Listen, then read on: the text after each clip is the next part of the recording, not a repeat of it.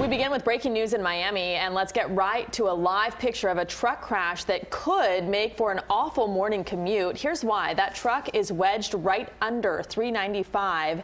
A Miami Fire Rescue Battalion chief telling CBS 4 News at the scene there could be structural damage to the highway, which could cause part of it to be shut down. Now, the surface streets we're looking at are Northwest 3rd Avenue and 14th Street near downtown Miami. Definitely an area to avoid tonight tonight. As for I-395, the area of concern is on the elevated highway just east of the interchange with 95.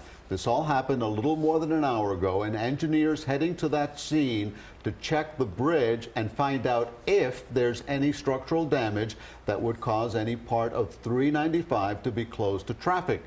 Of course, you'll want to wake up with CBS 4 this morning beginning at 4.30 a.m. for updates on how this will impact the morning commute.